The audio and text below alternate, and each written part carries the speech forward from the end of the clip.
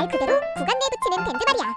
일반 피부와 마찬가지로 입안도 엄청 쉽게 다치거든. 입안을 씹었을 때나 피곤해서 생기는 입병 같은 경우처럼 말이지. 만약에 입안에 상처가 있을 때 김치를 먹는다고 생각해봐. 아 상상하기도 싫어. 짜잔! 그래서 우리가 준비했어. 입안에 붙이는 반찬도 큐라틱이야. 정확히 말하자면 구간용 점착성 투명 탄산.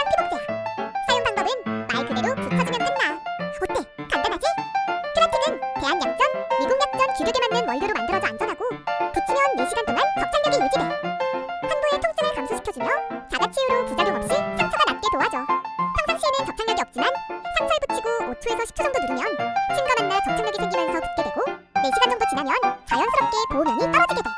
하지만 주의해야 할 점이 하나 있는데 큐라틱은 초반 접착력이 정말 강하기 때문에 억지로 떼려고 하면 되레 상처가 덧날 수도 있으니 조심해줘. 이제 큐라틱을 붙여봐.